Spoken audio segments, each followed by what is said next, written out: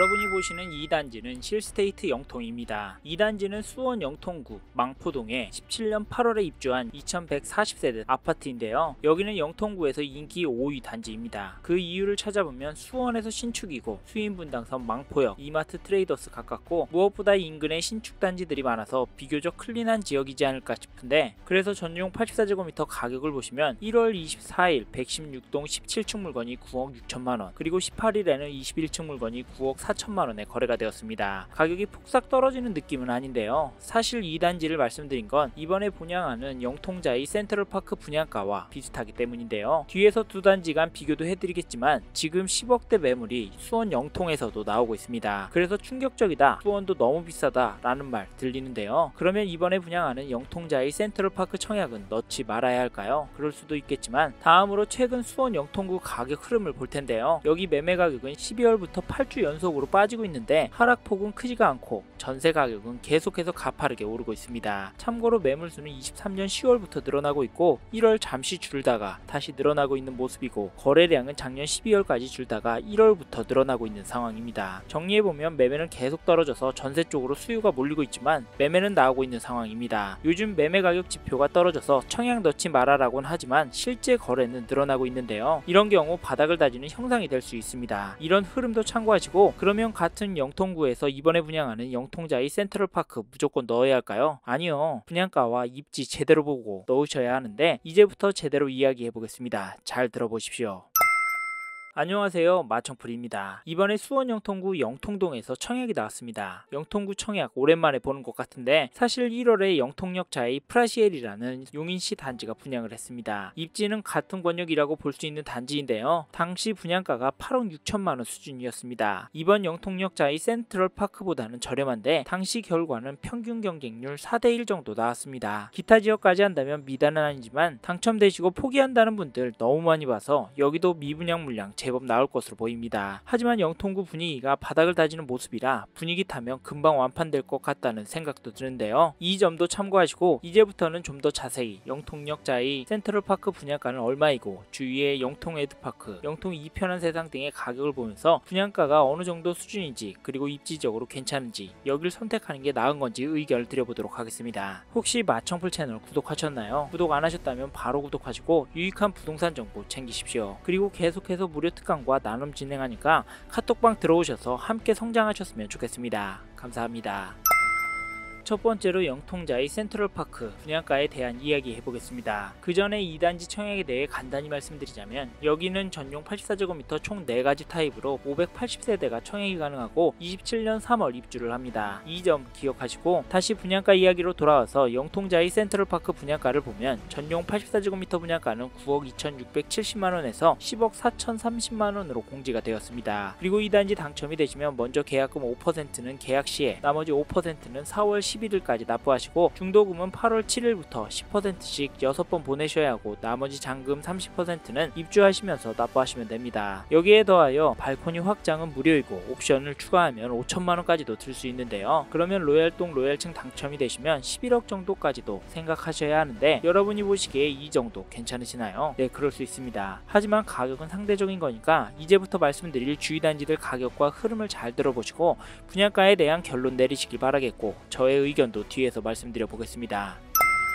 이번에는 주위 단지들 가격과 흐름을 살펴보겠습니다. 먼저 살펴볼 단지는 영통구 영통동에 있는 1997년 준공된 영통 에듀파크입니다. 여기는 수인분당선 청명역, 영통역을 도보로 이용할 수 있는 거리에 있고 단지 바로 옆에 영덕초, 영덕중 그리고 공원들이 있고 유흥가라고 불리면서 호불호가 있기는 하지만 상권도 가까이 있어서 만족도가 높아서 한때 재건축 바람이 불었을 때 수요가 몰렸던 단지인데요. 여기 전용 84제곱미터 매매 거래를 보면 1월 30일에 331 동동 7층 물건이 7억 2,500만 원에 거래가 되었고 1월 12일에는 337동 17층 물건이 6억 5,500만 원에 거래가 되었습니다. 여기는 작년 9월에 23년 최고가 7억 5,800만 원을 찍고 6억 5천까지 떨어졌다가 다시 오르는 것처럼 보이는데요. 사실 여기는 3익이냐 벽산이냐에 따라 차이가 좀 있습니다. 그런 차이 반영하면 큰 변동은 없는 것으로 보이고 다음으로 매도가도 찾아보니 현재 금매물은 337동 2층 물건이 6억 1천만 원에 나와 있고 최저가 순으로는 금매 물건 제외하면 순으로는 6억 4천만 원부터 최고가 7억 9천만 원까지 최신 순으로 보면 매물들이 7억 5천,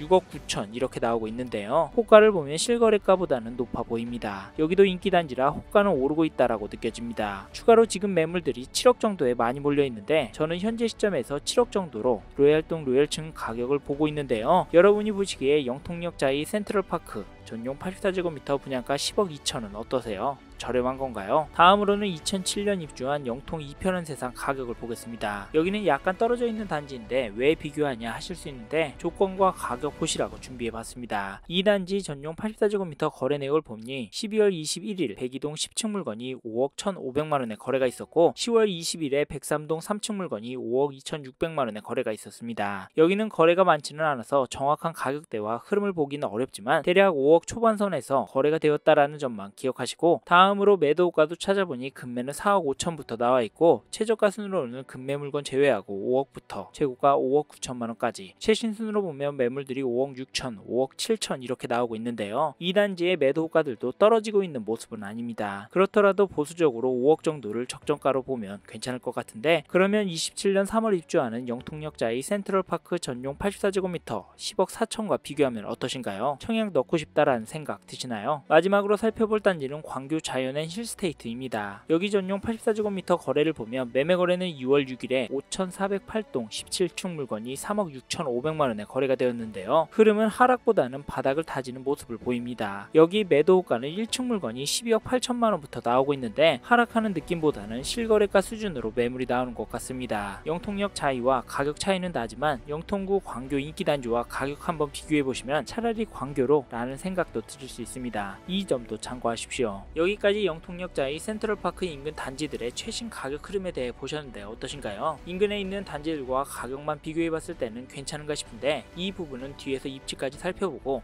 청약 관련해서 이야기 드린 후에 최종 의견을 말씀드려 보겠습니다. 다음으로 위치와 물량에 대해서 알아보겠습니다. 이 단지는 수원시 영통구 영통동 961-11번지에 지어질 단지인데요. 입지는 전형적인 영통역 권역의 단지라고 보시면 됩니다. 바로 옆에 영통중앙공원이 있어서 친환경적 단지인데 영통역 권역 단지들의 강점이 학군에 대해서는 살짝 부족해 보이는데요. 다른 단지들보다 신축이기는 하지만 초중고가 가까이 있지 않기 때문입니다. 솔직히 멀지는 않고 살다 보면 도보로 충분히 다닐 수 있는 거리지만 다른 단지들과 상대적으로 비교했을 때는 단지는 열세로 다가올 수 있다는 점. 하지만 상권과 학교나 다른 단지와 거리가 있는 이유로 영통역자의 센트럴파크가 구분이 잘 되어 있다는 점은 입지적인 장점으로 보이네요. 이런 점도 참고하십시오. 다음으로 청약 물량을 살펴보면 이번에 영통역자의 센트럴파크는 총 580세대 청약이 가능합니다. 여기 평형은 모두 84제곱미터로 구성이 되어 있는데요. 물량은 전용 84제곱미터 A타입에 많습니다. 경쟁률이 높을 것 같아서 84B나 C타입 넣어보시길 추천드리는데 이 부분은 도면이나 모델 모델하우 가서 보시고 어떤 평형이 마음에 드시는지도 보시고 결정하시기 바랍니다. 다음으로 2단지의 청약 관련 내용에 대해서 설명드리자면 2단지는 입주자 모집 051 기준으로 서울, 경기도 그리고 인천에 거주하시는 분들이 청약이 가능한데 경쟁이 있는 경우 수원시에서 1년 이상 거주하고 계시는 분들께 먼저 배정을 합니다. 그리고 2단지 일반 공급의 경우 가점제 40% 추첨제 60% 적용이 되고 여기 당첨이 되시면 입주자로 선정이 되신 날부터 전매 제한 1년이고 거주 의무 기간은 없습니다. 다음으로 2단지의 청약 청약 일정은 2월 19일 월요일에 특별 공급 신청을, 2월 20일 화요일에 일반 공급 1순위, 2월 21일 수요일에 일반 공급 2순위 신청을, 당첨자 발표일은 2월 27일 화요일이라는 점 참고하시어 청약을 넣으실 분들은 일정 꼭 기억하시고 놓치지 마시길 바랍니다. 이제 마지막으로 저의 의견을 드려보겠습니다. 먼저 2단지 분양가에 대한 이야기를 해보면 개인적으로 볼 때 묵직하다라고 생각하고 있는데요. 사실 영통역 일대가 입지적으로 나쁜 지역은 아닙니다. 한때 이쪽에 깔끔한 단지들도 많고 상권도 형성이 잘 되어 있기 때문에 여기가 삼성 다니시는 분들이 입주도 많이 하고 역도 들어온 거고 그러다 보니 학군도 좋아진 지역입니다. 여기에 재건축 리모델링 이슈까지 있어서 정말 미래 가치가 있다라고 수원 사시는 분들 이야기를 하시는데 사실 재건축은 쉽지 않아 보이고 지금은 무게의 중심축이 망포역 인근 신축들 쪽으로 옮겨진 모양새입니다. 처음 해보셨던 실스테이트 망포 가격 흐름 기억나실 텐데요. 그래서 망포역 인근 신축들과 비교해보시고 나는 영통역 인근 초신축이 괜찮다. 3, 4억을 더 주더라도 신축, 학군, 공원을 누리는 게 아깝지 않다. 라는 생각이 확고해지신다면 넣으십시오. 사실 저라면 좀 더 지켜보겠습니다. 아니면 2, 3억 더 보태서 광교를 가는 게 좋을 것이라고 생각합니다. 여기까지 저의 의견이었고요. 다른 분들의 의견도 들어보시고 계속 드는 청약이지만 한 번을 보시더라도 신중하게 결정을 하셨으면 좋겠습니다.